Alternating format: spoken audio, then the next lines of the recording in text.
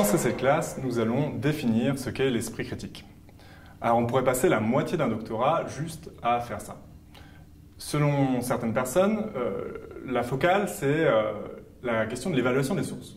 Par exemple, sur euh, des réseaux sociaux, des informations se diffusent, et vous vous posez la question, qui sont les auteurs des informations, des articles, quels sont leurs, leurs, diplômes, de quel point de vue ils parlent, et est-ce qu'ils ont mis un lien vers leurs propres sources?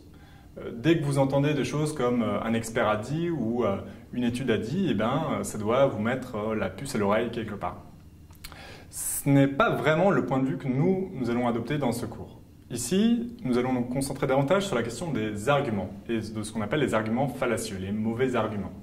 Les questions auxquelles euh, on va répondre sont les suivantes. Qu'est-ce qu'un argument? Comment est-il structuré? Qu'est-ce qu'un argument fallacieux?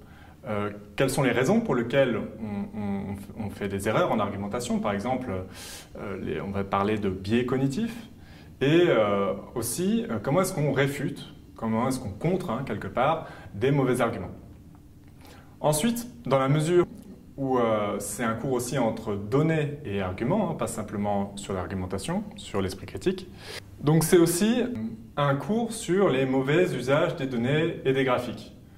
Euh, si vous avez déjà vu des, camemberts en trois dimensions, en perspective, ben, il faut que vous sachiez que c'est une façon de présenter les données qui risque d'induire en erreur euh, le lecteur, parce qu'il fait apparaître des, des parties plus grandes que d'autres de manière indue.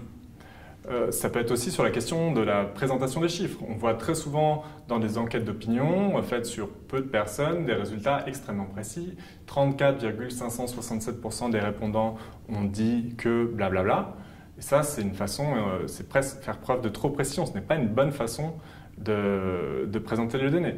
Nous allons parler aussi de tests statistiques, de manière de mal utiliser des tests statistiques. Donc quelque part, ce n'est ni vraiment un cours de logique pure, ni un cours de philosophie, ni un cours de statistique. C'est entre les trois.